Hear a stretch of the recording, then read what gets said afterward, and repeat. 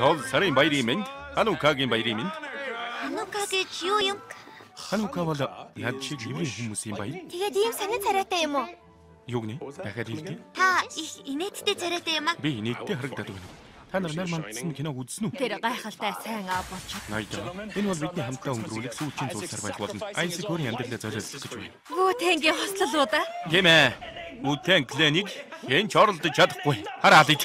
За за тэдэнд сонсогдож байгаа одоо болно. Харин тэрээс илэрхий алдартай болсон. Би чамайг үнэхээр шүтдэг шүү хөгшөө.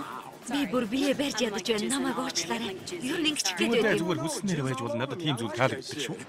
Энэ бидний амьдралын хамгийн сайхан үдших байх болно. Хүүхдтэй болохоос өмнө хамтдаа өнгөрөх хамгийн сүүлчийн зүйл сар чинь. Цагийг цалаатай өнгөрөөлөөрэй. Надад юу байгааг хардаа. Чамд ганцхан л ороос өвс байх юм. Энэ хар сайн мэдгүй маа хэмжээний талаар бүр ямар ч ойлголтгүй. Сайн уу ээжээ? Крис хүү нэрлээ. Та нар чинь энд юу хийж яваан бэ? Зул сарын минь. Хонгор минь чамаас өвс үнэртэй. Үгүй ээ, үгүй шүү, үгүй. Надад жаахан дарс өгөөч. Энийг даруулж өгөх гэсэн юм.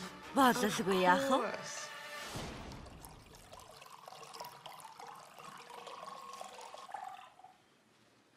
Баярлалаа.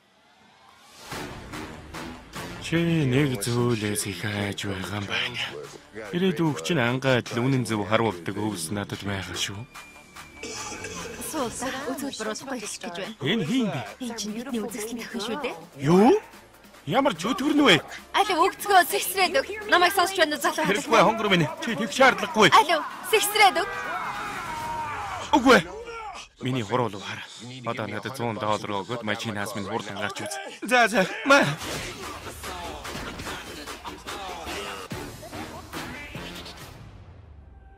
Чи одоо хэр ман суралтай байна? Халелуя. Тимсэн биш ээ. Үгүй гэж юу?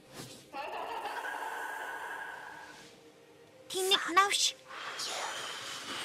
Зин хүүхдийг харта. Цаашаа харсан чинь тэр шүү. Цаашаа хар. Цаашаа хараач. Хүүхэд амьдаг чи яаж байгаа юм? намайг үдсэн штэ.